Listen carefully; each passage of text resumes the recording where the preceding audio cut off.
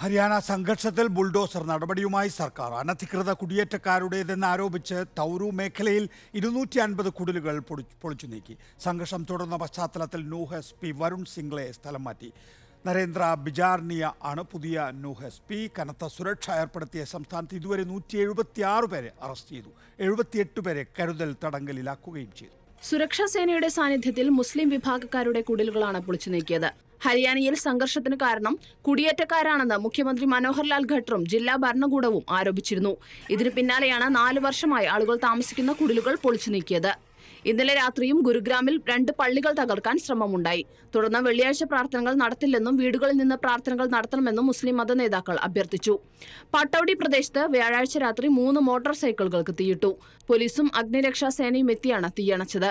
ഹരിയാന സംഘർഷത്തിൽ അഞ്ച് ജില്ലകളിലായി ഇതുവരെ തൊണ്ണൂറ്റി മൂന്ന് എഫ്ഐആറുകളാണ് രജിസ്റ്റർ ചെയ്തിട്ടുള്ളത്. ഇതിൽ നാൽപ്പത്തി മൂന്നെണ്ണം നൂഹിലാണ്. അറസ്റ്റിലായ ഇരുപത്തിമൂന്ന് പേരെ ഇന്ന് കോടതിയിൽ ഹാജരാക്കി. ഇവരെ അഞ്ച് ദിവസത്തെ പോലീസ് റിമാൻഡിലേക്ക് അയച്ചു. രണ്ട് ഹോംഗാർഡുകളടക്കം ആറുപേരാണ് ന്യൂഹിലുണ്ടായ അക്രമ സംഭവങ്ങളിൽ കൊല്ലപ്പെട്ടത്. നിരവധി വാഹനങ്ങളും കച്ചവട സ്ഥാപനങ്ങളും അക്രമികൾ അഗ്നിക്കിരയാക്കിയിരുന്നു. സംഘർഷം പിന്നീട് ഗുരുഗ്രാമിലേക്കും വ്യാപിച്ചു. തുടർന്ന് കേന്ദ്രസേനയെ അടക്കം സംഘർഷബാധിത മേഖലകളിൽ വിന്യസിച്ചിട്ടുണ്ട്. നൂഹ ഫരീദാബാദ് പൽവാർ സോഹ്ന പട്ടൌഡി മനേസർ എന്നിവിടങ്ങളിൽ നാളെയും ഇന്റർനെറ്റ് നിരോധനവും നിരോധനാജ്ഞയും തുടരും. National desk reporter.